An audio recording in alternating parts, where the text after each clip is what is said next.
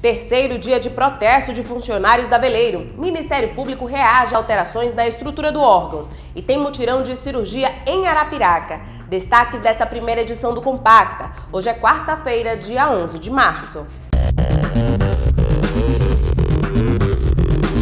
Compacta. Oferecimento Maceió Shopping. Há 30 anos fazendo parte da sua família. Funcionários da empresa de ônibus Veleiro voltaram a cruzar os braços por causa do atraso no pagamento de salários. Alberto Lima tem as informações para gente. Foi necessário o apoio da Polícia Militar para que os ônibus da empresa Veleiro pudessem circular na manhã desta quarta-feira em função de salário atrasado e a falta de repasse do Fundo de Garantia, INSS e também do repasse de pensão alimentícia. O presidente do Sintro, Sandro Regis, fala da situação de momento. A empresa está atrasando salário, a empresa não paga não recolhe o FGTS, a empresa não está pagando nem sequer pensão alimentícia que desconta dos trabalhadores. Então é uma situação realmente caótica da empresa aonde a empresa está dizendo assim, ó, manda quem pode, obedece quem tem juízo, eu sou quem mando aqui.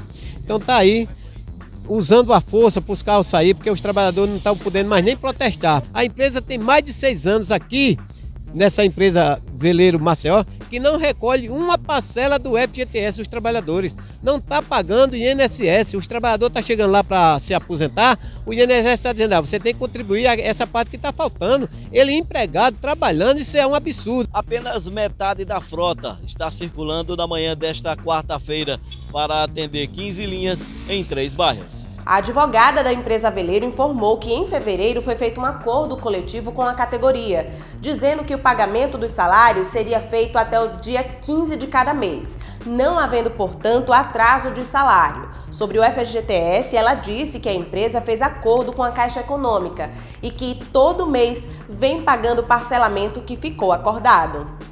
O Ministério Público Estadual considerou um desserviço a Alagoas as alterações feitas no projeto de lei complementar número 73 de 2019 e votadas ontem na Assembleia Legislativa, extinguindo o Grupo de Atuação Especial de Combate ao Crime Organizado, GAECO, e o Grupo de Atuação Especial em Sonegação Fiscal e Lavagens de Bens, o GAESP. O MP afirma que a estrutura do órgão foi afetada, prejudicando investigações em andamento e fragilizando a atuação de promotores e procuradores de justiça. Segundo o Ministério Público, em três anos de atuação, o GAESP devolveu ao Tesouro Estadual mais de 300 milhões de reais que haviam sido sonegados. E o GAECO atuou no enfrentamento aos crimes contra a administração pública e facções criminosas o Centro de Apoio Operacional às Promotorias de Justiça, o CAOP, com atuações de destaque, inclusive no caso Pinheiro, também é afetado pelas alterações. Outra mudança proposta pelos deputados estaduais e votada na ALI diz respeito à disputa pelo cargo de procurador-geral do MPE. Somente os procuradores vão poder se candidatar. Os promotores serão impedidos. E atenção, você que mora em Arapiraca e regiões vizinhas. Começa hoje o mutirão de cirurgias na Praça Cecicunha, no centro de Arapiraca. Serão três dias de atendimento. Até sexta-feira, a Secretaria Estadual de Saúde pretende atender mais de 3 mil pacientes no mutirão. O atendimento na estrutura que está montada para que seja feita a triagem começou às 7 horas da manhã. Os pacientes irão passar por uma consulta médica e depois disso serão feitos exames de ultrassonografia, laboratoriais, raio-x e eletrocardiograma. O resultado é liberado no mesmo dia.